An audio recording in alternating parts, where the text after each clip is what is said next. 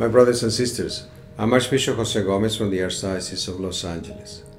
On September 27th, Pope Francis will launch a global campaign in solidarity with refugees and immigrants called Share the Journey.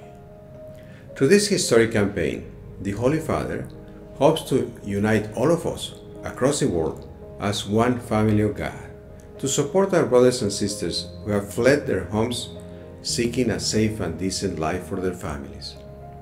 Here in the United States, millions of immigrants have been living in the shadows because of a broken immigration system.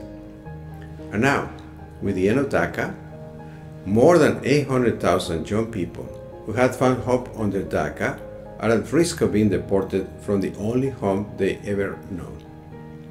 This is why, starting on September 27th, we will begin the Share the Journey campaign in the Archdiocese of Los Angeles by offering a series of workshops to help process extensions for those who qualify for DACA renewal before the October the 5th deadline.